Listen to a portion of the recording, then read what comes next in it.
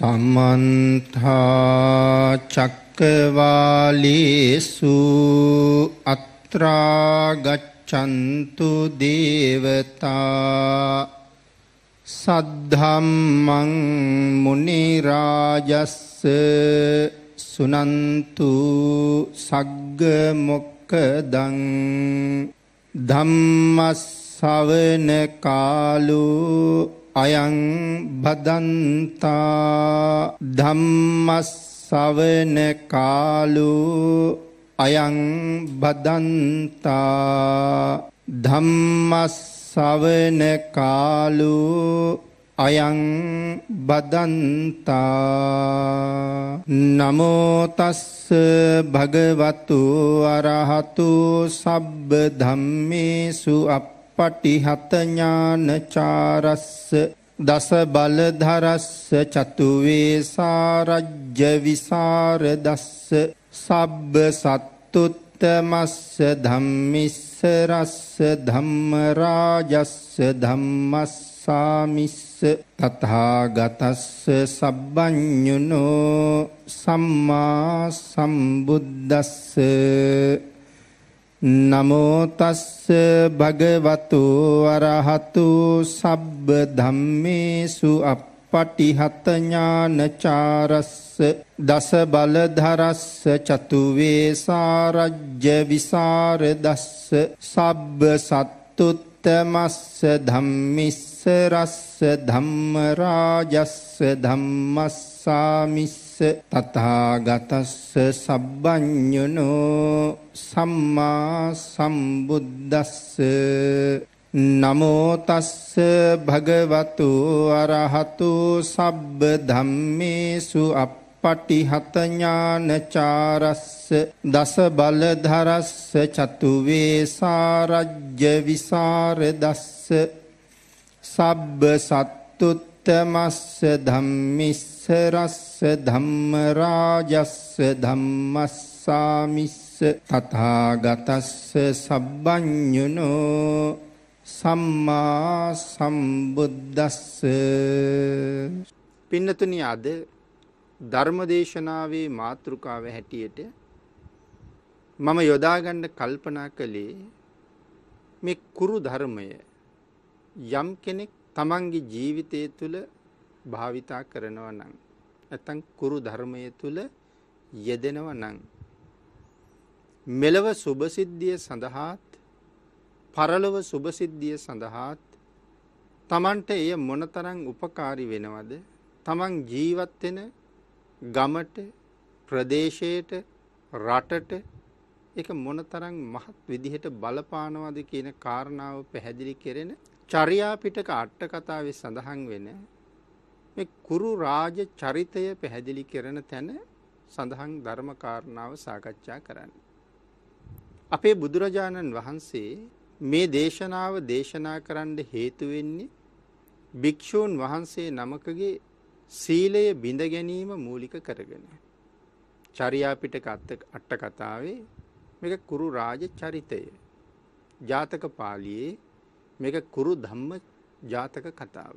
භාග්‍යතුන් වහන්සේ වැඩ ඉන්න කාලේ එක තරුණ භික්ෂූන් වහන්සේලා දෙනමක් උපසපන් තරුණ භික්ෂූන් වහන්සේලා දෙනමක් ගංගාවෙන් පැන්සැනහිලා වැලිතලාවේ වාඩි වෙලා ධාර්මික කතාවක නිරත වෙලා හිටියා. මේ වෙලාවේ අහසින් පියඹලා එනවා හංස ජෝඩුවක්. මේ හංසයෝ දැක්කහම අර එක භික්ෂුවක් අහනවා අනික් භික්ෂුවගෙන් නුඹ දන්නවද අර ඉගිල්ලෙන හංසයාගේ ඇහැට ගලකින් ගහන්න මට පුළුවන් කියලා. හංසයා බොහොම වේගෙන් ඉගිලිලා යනවා. මේ භික්ෂුව කියනවා මට පුළුවන් මේ හංසයාගේ ඇහැට ගහන්න කියලා. අනික් භික්ෂුව කියනවා ඒක කරන්න බැරි දෙයක්. හංසයා බොහොම වේගෙන් යනවා. අනික හංසයාගේ ඇහැ පේන්නේ මේ වෙලාවේ. අර භික්ෂුව කියනවා එහෙනම් බලා ගන්නකෝ කියලා. මේ තුන් හුලස් ගල් කැටයක් අරගෙන වේගෙන් හංසයා දිහාට විදිනවා. පින්නතේ මේ තුන් හුලස් ගල වේගෙන් ඇදිලා යනකොට හඬක් නැගෙනවා. මේ හඬ තමන්ගේ පිටිපස්සෙන් එන නිසා හංසය හැරිලා බලනවා. හංසය හැරෙනවත් එක්කම අර භික්ෂුව තවත් ගලකින් පහර දෙනවා. හංසයාගේ මෙහා ඇහි වැදිලා එහා එහෙන් ගල් කැටි මතුවෙනවා. හංසයා බොහොම වේදනාබර හඬක් නගාගෙන මැරිලම වැටුණා. එක බලාගෙන හිටිය අනික් වටාපිටාවි තැන්වල විවේක සුවයෙන් වැඩ හිටපු භික්‍ෂූන් වහන්සේලා. උන්වහන්සේලා මේ දෙනම ළඟට ඇවිල්ලා අර භික්ෂුවට බොහොම චෝදනා කළා. නිවන් පිණිස පවතින මේ ශාසනයේ නුඹ මොකද්ද මේ කළේ කියලා. බුදු පසේබුදු මහරහතන් වහන්සේලාගේ අරිහත් දජය දරාගෙන නුඹ කරපු නින්දිත ක්‍රියාව මොකක්ද කියලා. චෝදනා කරලා බුදුරජාණන් වහන්සේලකටත් එක්ක ගියා. ඉතින් භාග්‍යතුන් වහන්සේත් ඒ භික්ෂුන් වහන්සේලාට චෝදනා කළා. අද සම්මා සම්බුද්ධ ශාසනයේ පැවිදි වෙලා මේ නිර්මල ශාසනයේ කෙලෙස් නැති කරන්න වීරිය වඩන්නේ නැතුව අකුසලයන් බැහැර කරන්න වීරිය වඩන්නේ නැතුව ශාසනික ප්‍රතිපදාව මොකක්ද කියලා දන්නේ නැතුව අද නුඹ මේ වාගේ පහත් වැඩක් කළා. නමුත් අතීතයේ අබුද්ධෝත්පාද කාලයේ පවා ගිහි අය තමන්ගේ සීලය මොනතරම් උවමනාවෙන් ශ්‍රද්ධාවෙන් ආරක්ෂා කළාද කියන කාරණාව භාගිතුන් වහන්සේ සඳහන් කරනවා. මේ විදිහට ගිහි අයත් අබුද්ධෝත්පාද කාලයේත් සිල් රැකලා තියෙනවා කියලා. ඉතින් ඒ අබුද්ධෝත්පාද කාලයේ සිල් රැකපු ආකාරය අනික් සංඝයා විමසුවහම සකල ලෝක සත්වයාගේම හිතසුව පිණිස භාග්‍යතුන් වහන්සේ අතීත කතාව දේශනා කළා. භාග්‍යතුන් වහන්සේ දේශනා කරනවා මහණෙනි අතීතයේ කුරු රටේ කුරු රජ්ජුරුව මනාව කුරු ධර්මය ආරක්ෂා කළා. ಕುರು රජ්ජුරුවන්ට හිටිය පුතේ. ඒ පුතා තරුණ වයසට ආහම තාත්තට කියනවා තාත්තේ මටත් ශිල්ප ඉගෙන ගන්න ඕනේ කියලා. තක්සලාවට යවලා පිරිපුන් ශිල්ප හදාරවලා නැවත ආවට පස්සේ රටේ යුව රජ තනතුර බාර දුන්නා. යුවරජ්ජිරුවොත් කුරු ධර්මය ඉතාම හොඳින් ආරක්ෂා කළා මහරජ්ජිරුවන්ගෙන් පස්සේ යුවරජ්ජිරුව මහරජු බවට පත් වනා. ද මේ කුමාරයාගේ නම ධනංජයේ රජ්ජිරුවොත් කුරු ධර්මය ආරක්ෂා කරනවා. රජ්ජිරුවන්ගේ රාජ මහේෂිකාවත් කුරු ධර්මය ආරක්ෂා කරනවා. යුවරජ්ජිරුවොත් කුරු ධර්මය ආරක්ෂා කරනවා. මහරජ්ජිරුවන්ගේ මෑනියොත් කුරු ධර්මය ආරක්ෂා කරනවා. රියදුරත් කුරු ධර්මය ආරක්ෂා කරනවා. ඒ විතරක් නෙමේ පින්නතුනි රජ්ජුරුවන්ගේ සහෝදරය යුව රජ්ජුරුව කියලා අපි සඳහන් කළා. ඉඩම් මනින අමාත්‍යවරයාද රතාචාරයාද සිටිතුමාද කුරු ධර්මය ආරක්ෂා කරනවා දොරටු පාලකයාද කුරු ධර්මය ආරක්ෂා කරනවා. ඒ විතරක් නෙමෙයි මේ රටේ ඉඳලා තියෙන වෛශ්‍යාවක්. ඒ වෛශ්‍යාවත් ඊටාම හොඳින් කුරු ධර්මය ආරක්ෂා කරනවා. මේ විදිහට ප්‍රධාන එකොළොස් දෙනෙක් මනාව කුරු ධර්මය ආරක්ෂා කරනවා. මේ ප්‍රධානියෝ කුරු ධර්මය ආරක්ෂා කරනවා කියල කියන රටවැසියත් ඒ ධර්මය තුළ යෙදෙනව කියන එකයි. මේ ආසන්නේ තියෙන අනික් රාජ්‍ය තමයි කාලිංග දේශයේ. කාලිංග දේශයේ දුර්භික්ෂ බයක් සාපිපාසා බයක් රෝග බයක් කියල ත්‍රවිධ බයක් මේ කාලේ ඇති වෙලා මොකද කාලිංගයට වැස්සනෑ. නමුත් මේ කුරු දේශයට දවස් පහළවෙන් පහළවට වහිනවා. අර්ධ මාසයකට සැරයත් දවස් දහයක් වහිනවා. නැවත අර්ධ මාසයක් පායනවා ආය දවස් දහයක් වහිනවා. මේ විදිහට දවස් පහළවෙන් පහළවට දවස් දහය දහය වහිනවා. කාලින්ගේ මිනිස්සු කතා කරනවා අපි කොහොමද වරුසාව ලබාගන්නේ දැන් කලිඟු රටේ මිනිස්සුන්ට කෑමත් නෑ බීමත් නෑ. දූදරුව අතින් අල්ලගෙන හිස හැරුණ හැරුණාතේ යනවා. මිනිස්සු රාජ මාලිගාව වට කරලා රජ්ජිරුවන්ට කෑ ගහල කියනවා වරුසාවල බල දෙන්න කියලා. රජ්ජුරුව ඇමතිවරුන්ගෙන් අහනවා මේවාගේ කාලවල පෙර රජවරු මොනවද කළේ ඇමතිවරු කියනවා දන්දීලා උපෝසතය අධිෂ්ඨාන කරලා සිරියහනට වෙලා දවස් හතක් තන ඇතිරියක සැතපුනා කියලා. රජ්ජුරුව ඒ ක්‍රියාව එහෙම්මම කරනවා. නමුත් වැස්ස ලැබුණේ නෑ. රජ්ජුරුව කියනවා මගේ කාර්ය මම කලා වරුසාව ලැබුණේ නෑ.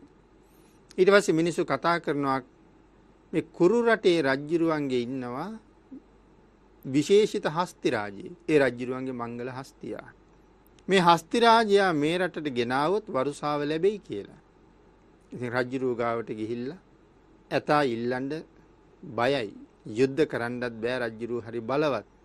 ඉතින් රජ්ජුරුව එහෙම කියහම ඇමතිවරු කියනවා කුරු රජ්ජුරුව එක යුද්ධ කරන්න අවශ්‍ය නෑ මහරජය. හොඳට පෙනෙන ඇස් දෙක ඉල්ලුවොත් කුරු රජ්ජුරුව ඇස් දෙකම දෙනවා. ඇහැක් ඉල්ලුවොත් ඇහැක් දෙනවා දෙකම ඉල්ලුවොත් දෙකම දෙනවා. ඔටුනු පලන් හිස ඉල්ලුවොත් හිස දෙනවා. රාජ්‍ය ඉල්ලුවොත් රාජ්‍ය දෙනවා. ඒ තරම්ම ධාර්මිකයි. මොන යුද්ධද ඒ රජ්ජුරුවන්ට ඇතෙක් දෙනවා කියන එක වටින්නේ නැහැ කියලා. කුරු රජ්ජුරුවෝ තමන්ගේ රාජ්‍යයට ඇතුල් වෙන ප්‍රධාන දොරටු හතරේ දන්සල් හතරක් 365 දවසේම පවත්වනවා.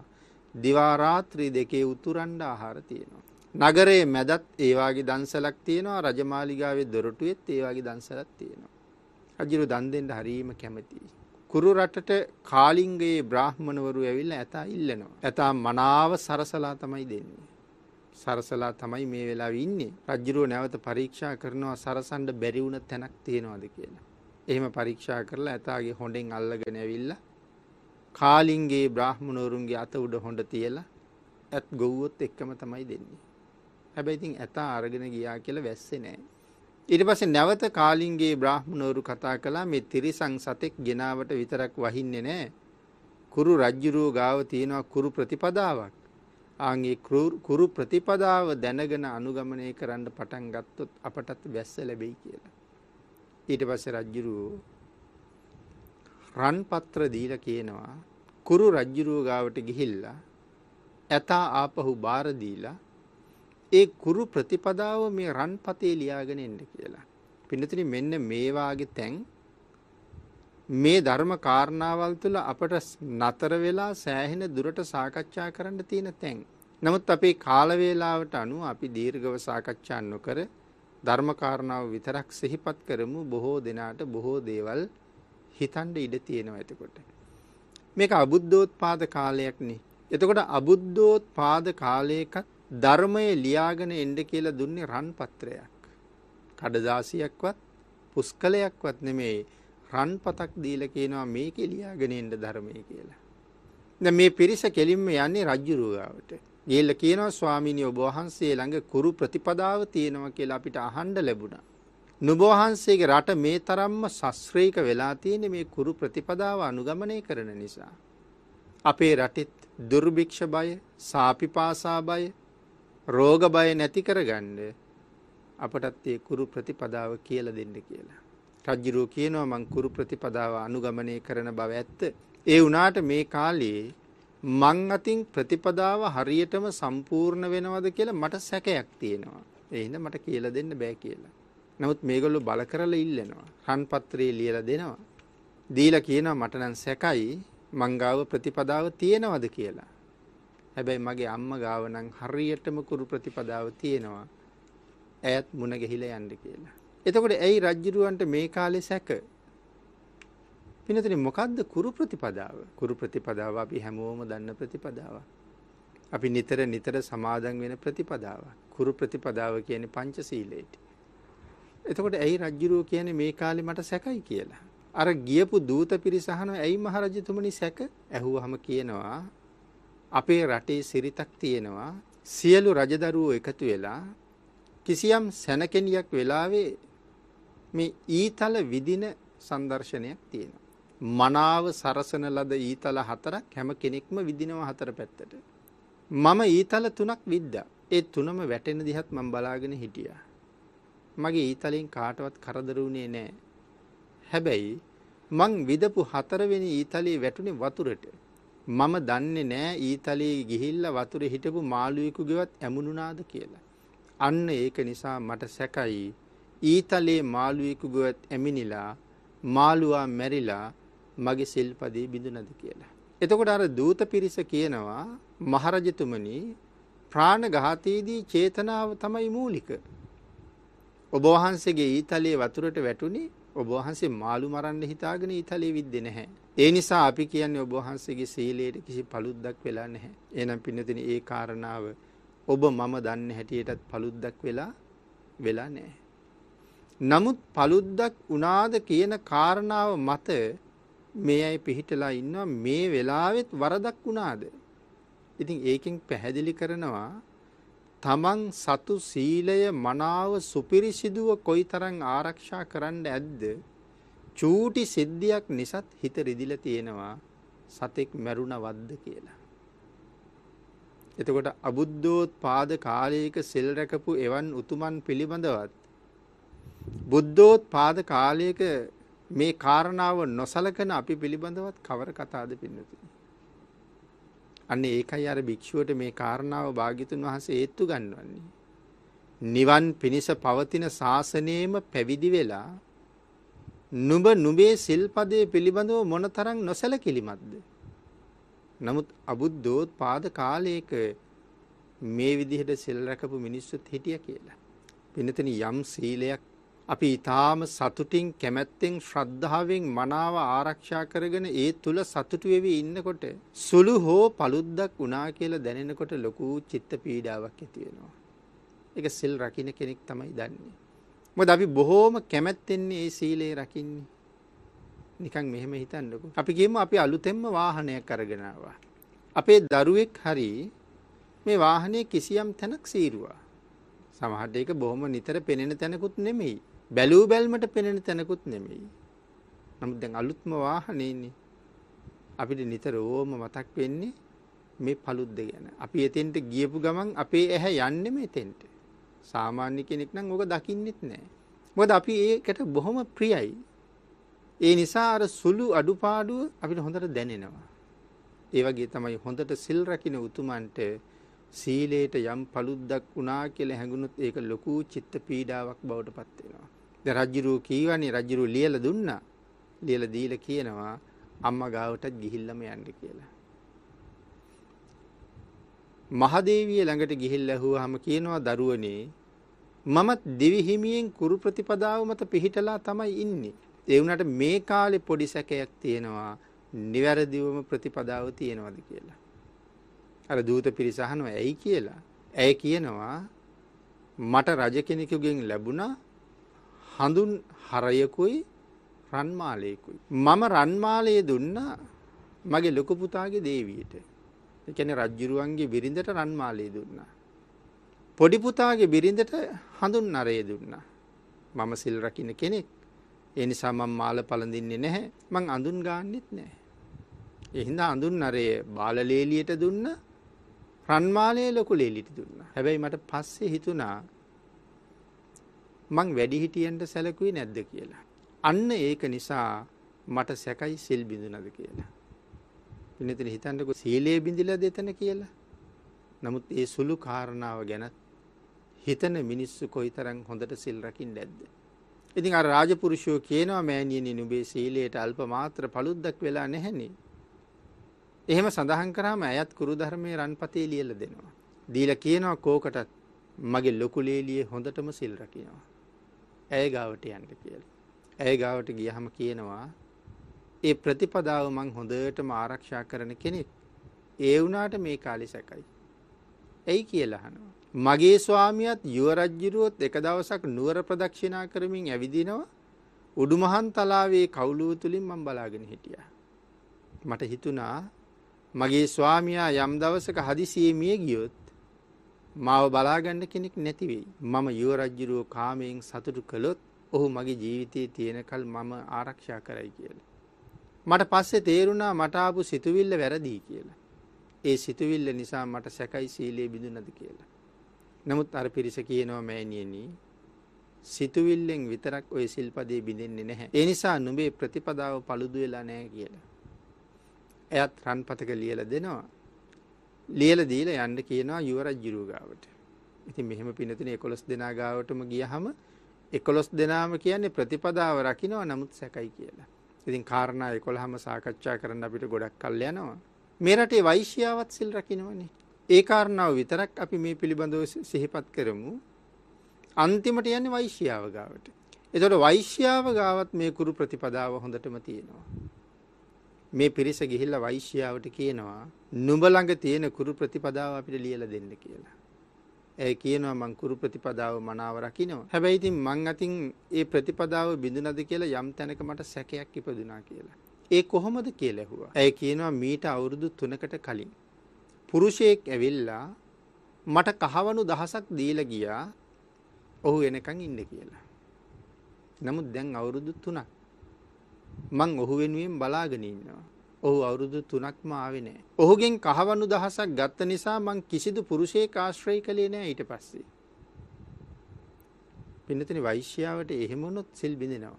අකුසලයක් සිද්ධ වෙනවා. මොකද යම් පුරුෂයෙක් මුදලක් දීලා ඇය තමන්ගේ කරගෙන නම් ඒ පුරුෂයාගේ මුදල ගෙවෙනතුරු ඇය ඔහු සතුයි. ඔහු සතු වෙලා ඉන්න වෙලාවේ වෙනත් පුරුෂයෙක් ඇසුරු කළොත් ඇයට අකුසලයේ සිද්ධ වෙනවා. වෛශ්‍යාව සම්බන්ධ කාරණාව සංකීර්ණයි. එනිසා ඒක දීර්ඝව සාකච්ඡා කළ යුතු කරුණක්. නමුත් ඇය දන්නවා දැන් මම මේ කහවණු දහස ගත්තනේ. දැන් මම ඔහුට අයිති. වෙනත් පුරුෂයෙක් ඇසුරු කළොත් මං ඒ අයිතිය බින්ද වෙනවා. ඒ හින්දා තුන් අවුරුද්දක් වෙනත් කිසිදු පුරුෂයෙක් ඇසුරු කළෙත් නැහැ. හැබැයි දැන් කවුරුත් ඇසුරු නොකරන නිසා ඇයට ධනයක් නැහැ. අන්තිමට ගිහිලා රජ්ජුරුවන්ට කියනවා මං අවුරුදු 3ක්ම බලාගෙන ඉන්නවා ඒක පුරුෂයෙක් වෙනුවෙන්. ඔහු එන්නේ නැහැ. මට යැපෙන්න විදිහක් නැහැ රාජ භාණ්ඩාගාරයෙන්වත් ධනෙ දෙන්න කියලා. රජ්ජුරුව කියනවා අරගන්න කියලා. එහෙම රජ්ජුරුවන්ගෙන් අවසර අරන් එළියට බහිනකොටම එක පුරුෂයෙක් කහවණු දහසක මල්ලක් ගෙනල්ලා දෙනවා. රජ්ජුරුව අවසර දුන්නනේ ගන්න කියලා. ඒ කහවණු දහස ගණ්ඩ අත දික් කරනකොටම අවුරුදු තුනකට කලින් කහවණු දහස දුන්න පුරුෂයා පෙනී හිටියා. ඒකම අතහකට අරගෙනකුව නුබේ කහවණු දහස අරං යන්ඩ. වසර තුනකට කලින් කහවණු දහසක් දුන්න පුරුෂය ඇවිල්ල ඉන්නවා කියලා. පිනතින මේ ඇවිල්ල ඉන්න සක්‍ර දේවේන්ද්‍රිය. ඇයගේ සිල් පරීක්ෂා කරන්න තමයි අවුරුදු තුනකට කලින් කහවණු දහසක් දීලයන්නේ.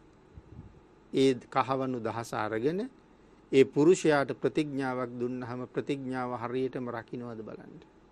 බලන්න වෛශ්‍යාවක් වෙලත් තුන් අවුරුද්දක්ම කහවණු දහස ගත්ත පුරුෂයා වෙනුවෙන් බලාගෙන ඉන්නවා. ඒ පුරුෂයා ඇයට ප්‍රශංසා කරනවා.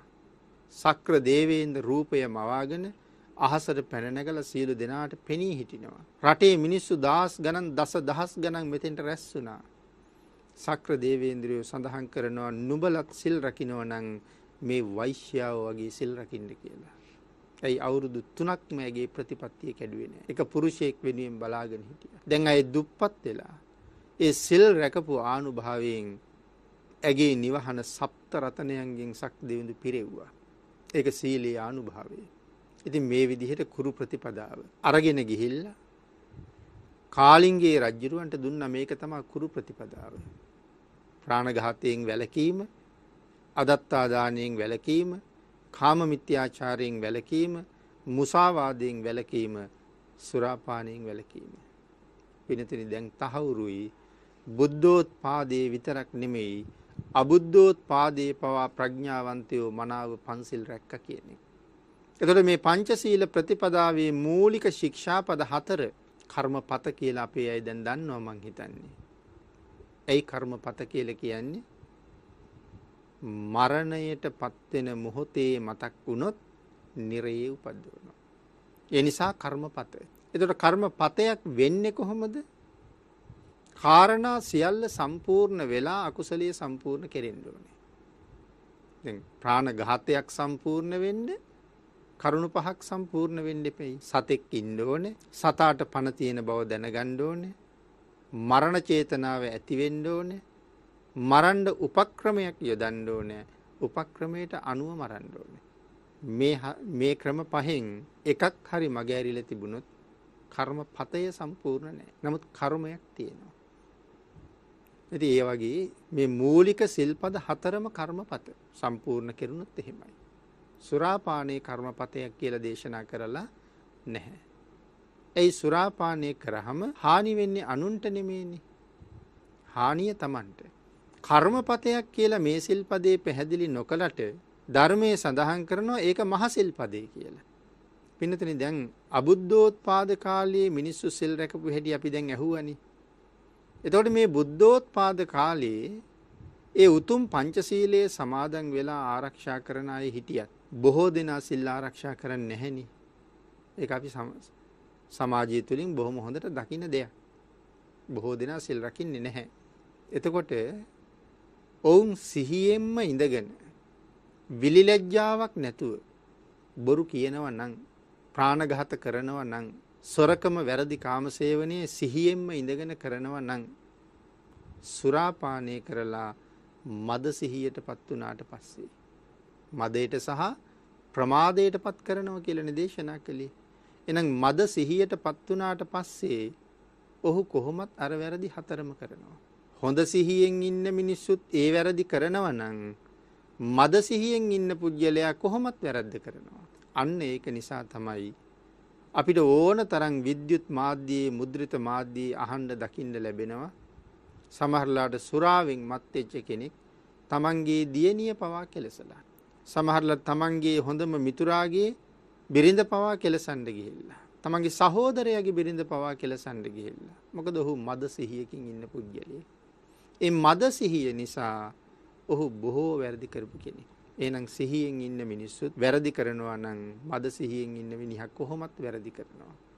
එහෙනම් සුරා පානයෙන් හානි වෙන්නේ පෞද්ගලිකව Tamanට නමුත් මන්ද මානසික බව නිසා අර කර්මපත හතරම ඔහු කරගන්නවා. ඒ නිසා මේකට මහසිල්පදේ කියලත් ධර්මයේ හඳුන්වලා තියෙනවා. ඊළඟ කාරණාව පින්නතිනි භාග්‍යතුන් වහන්සේ දේශනා කරනවා යම් කෙනෙක් ප්‍රාණඝාත කරන්නේද ඔහු එහි විපාකයක් හැටියට නිරේ උපදිනවා කියලා. විශේෂයෙන් ප්‍රාණඝාත කරන අය උපදින නිරයක් හැටියට සඳහන් කරන්නේ සංජීවය. සංජීවයට නොවී වෙන නිරේවල් වලට යන අවස්ථාත් තියෙනවා. නමුත් විශේෂයෙන් નિયમિત වෙලා යනවා සංජීවයට. හැබැයි සංජීවය කියලා කියන්නේ ආයුෂ අඩුම නිරය. ආයුෂ අඩුම නිරය කියලා කීවට කොච්චර කාලයක් විතර ආයුෂ ඇද්ද? එක දවසකට මනුස්ස වර්ෂ ලක්ෂ 90ක් අවශ්‍යයි. එක දවසකට. ලක්ෂ 90 ඒවා 360ක් අවුරුද්දයි. එවන් අවුරුදු 500ක් අවශ්‍යයි. තව විදිහකට කිව්වොත් මනුස්ස වර්ෂ වලින් වර්ෂ බිලියන 1620ක්. වටිනවද මදුරුවෙක් මරලා එච්චර දුකක් විඳින්න? එච්චර දුකකට මේ කරන එකදු ප්‍රාණඝාතයක්වත් වටිනවද? නිරයෙන් නිදහස් වෙලා ආවට පස්සේ ආය සුගතිවලට ආහම ගුටි කාලත් මිය දෙන්න වෙනවා. තිවුණු ආයුධෝලින් කපල කොටලත් මරලා දානවා. මොකද පෙර මමත් නිරේ හිටියේ එහෙම කරපු නිසා. තිවුණු ආයුධෝලින් අනුන්ව කපල කොටල නම් මමත් නිරේට ගියේ ආය කවද හරි මෙහෙයාවම ඒ දඬුවම එහෙම්මම මට ආයෙත් හම්බෙනවා. එහෙම දේවල් අහනකොට දකිනකොට අපිට දුකක් හිතෙනවා. කනගාටුවක් හිතෙනවා. නමුත් ඔහුගෙන් තවත් බොහෝ දෙනෙක් ඒ අපරාධයට ලක් වෙලා තියෙනවා. ස්වභාව ධර්මයේ කර්මය කියන ධර්මතාවයේ හරි බලවත් වගේම හරි පුදුමයි. මම කරපු කර්මයට කවදාවත් ඔබට විපාක හම්බෙන්නේ ඒ කර්මයට අනිවාර්යෙන් මම්ම තමයි වන්දි ගෙවන්න වෙන්නේ.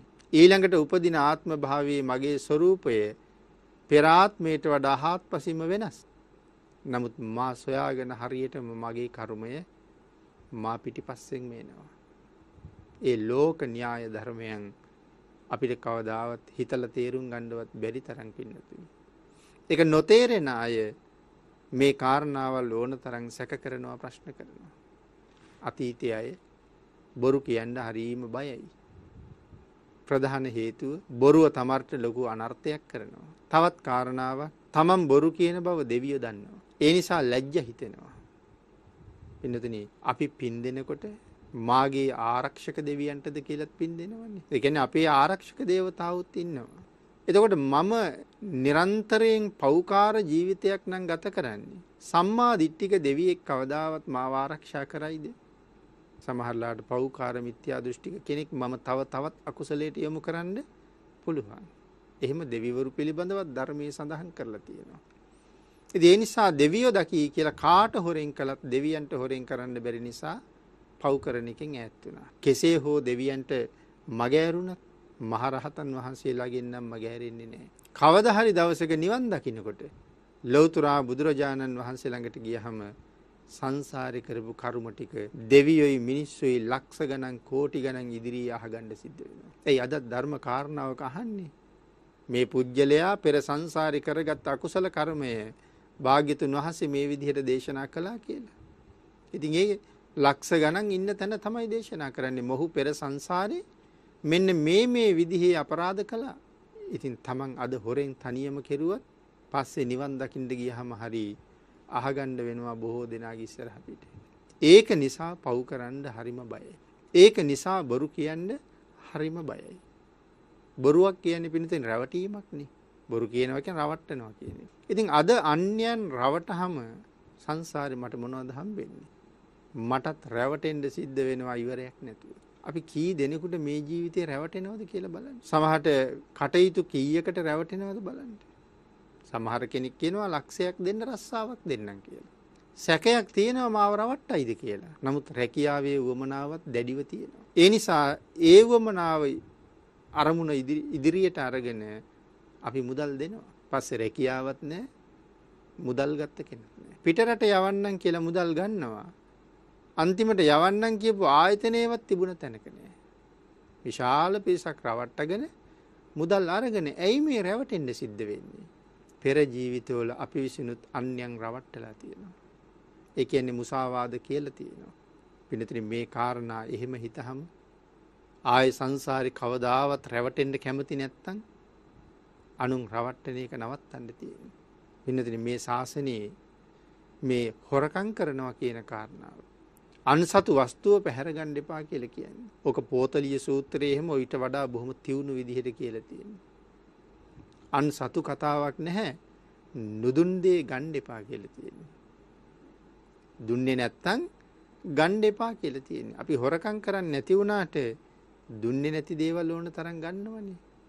හොරෙන් නෙමේ ගන්නේ නමුත් මෙතෙන්ට එනකොට කියන්නේ නුදුන්දේ ගණ්ඩත් එපා කියලා. එතකොට ආං එහෙම වුණහම අර කුරු ධර්මය ආරක්ෂා කරන අය වගේ සැක උපදින්නත් හේතු වෙනවා. හරියටම සිල් රකින්න කෙනෙකුට. ඉතින් මේ විදිහට හරිව මේ සමාජයේ සංසාරේ කෙටි කරගන්න බලාපොරොත්තු වෙන අයට මෙලව ජීවිත යහපත් කරගෙන පරලොව සුගතිගාමී කරගන්න බලාපොරොත්තු වෙන අයට මේ උතුම් වූ පංචශීල ප්‍රතිපදාව ස්වභාව ධර්මයේ තුල තියෙන මේ කාරණාව ඉස්මතු කරලා අපිට පෙන්වුවේ අපේ භාග්‍යතුන් වහන්සේ. වෙන කිසිම ශාස්ත්‍රවරයෙක් මේ ස්වභාව ධර්මයාගේ නීතිය ඉස්මතු කරලා අපිට පෙන්නලා නැහැ. භාග්‍යතුන් වහන්සේ මේ කාරණාව අපට මේ විදිහට පෙන්වන්නේ නොපෙන්නන්ඩ අපි පින්නතනින් මේ වැරදිවල කොච්චර යෙදෙයිද. අනාගතයේ කොයි තරම් අඳුරු කර ගනීද. තෙරක් පරක් මායිමක් නැති මේ සංසාර ගමනි මෙච්චර දුර ඇවිල්ල තියෙන්නේ මේ ප්‍රතිපදාවන් නොදැන උල්ලංඝනය කර කර සතරාපායවල් පුරුවපු නිසා.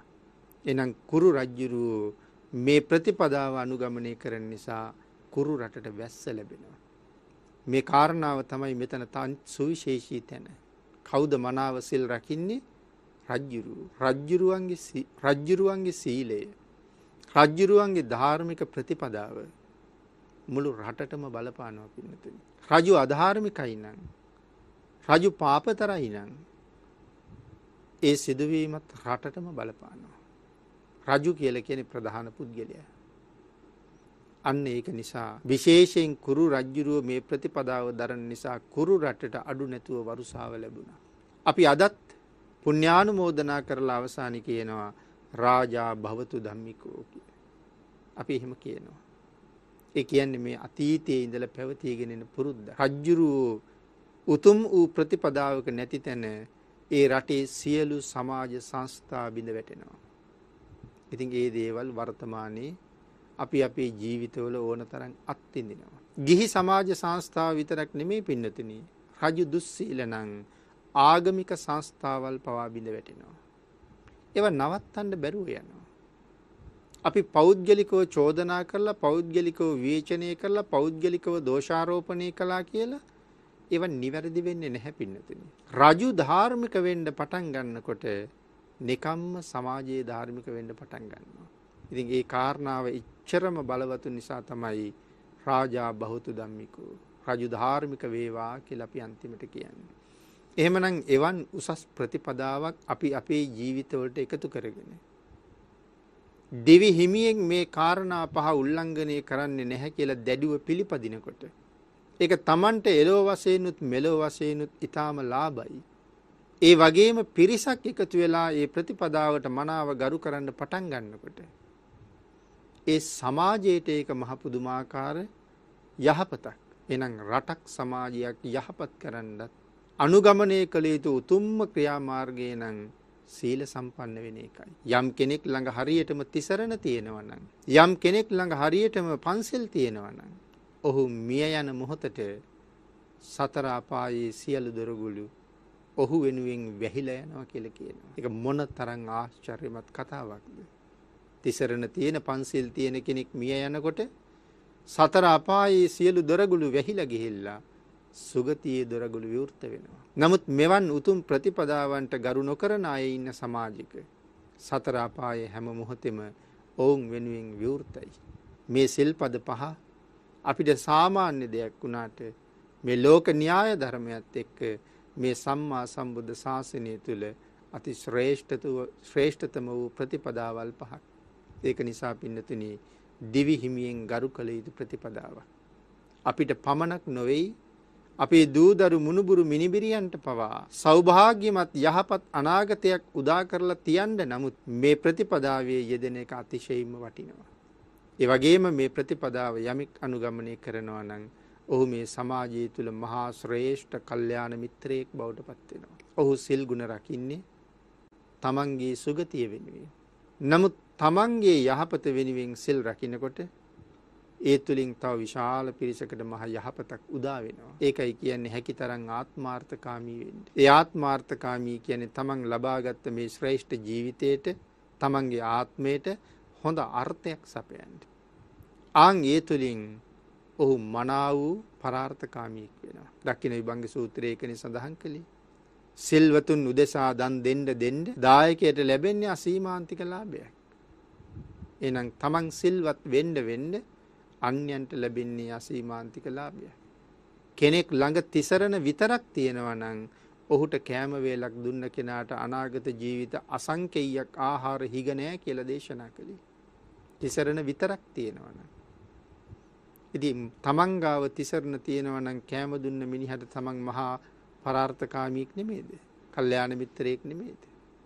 ඒ නිසා මේ ප්‍රතිපදාව ගරු කරනවා නම් මේ සමාජ සංස්ථාව පවා පින්නතුනි මීට වඩා බොහොම හොඳට පිබිදෙනවා. මීට වඩා හොඳට ශාස්ත්‍රීක වෙනවා. මීට වඩා හොඳට සම්පූර්ණ වෙච්ච සමාජයක් බවට පත් වෙනවා. දෙවියන්ගේ ආශිර්වාදයේ ලබන ආර්යයන් වහන්සේලගේ අනුකම්පාව ලබන සමාජයක් බවට පත් වෙනවා. සමහරලාට පාලකයා සීලෙන් තොර වුණත් රටවැසියා සිල්වත් වෙනකොට ඒ රට හරි ශක්තිමත් රටක් බවට පත් වෙනවා. එහෙනම් තමන්ගේ මෙලව පරලොව දියුණුව වෙනුවෙනුත් රටේ ජාතියේ යහපැවැත්ම වෙනුවෙනුත් මේ උතුම් ප්‍රතිපදාව දිවිහිමියෙන් ආරක්ෂා කරනවා කියන ප්‍රතිඥාව මත පිහිටන ඕනෑම පුද්ගලයෙක් සතර අපායට පිටුපාලා නිවන දිහාට ගමන් කරනවා. එවන් ප්‍රතිපදාවක් අනුගමනය කරලා සංසාරි කෙරවල කරන්න සියලු දෙනාටම ශක්තිය ධෛර්යය භාග්‍ය වාසනාව උදා වේවා උතුම් වූ ප්‍රතිපදාව ආරක්ෂා කරන්න තුනුරුවනේ ආශිර්වාදයේ ශක්තියත් සියලු දෙනාටම නොඅඩුවම ලැබේවා කියලා ප්‍රාර්ථනා කරමි. ආකාසට්ඨා ච බුම්මට්ඨා දේවා නාග මහිද්దికා පුඤ්ඤන්තං අනුමෝදිත්වා චිරං රක්ඛන්තු ලෝක සාසනං දේවෝ වස්සතු කාලේන සස්ය සම්පatti හෝතු ච පීතෝ භවතු ලෝකෝ ච රාජා භවතු ධම්මිකෝ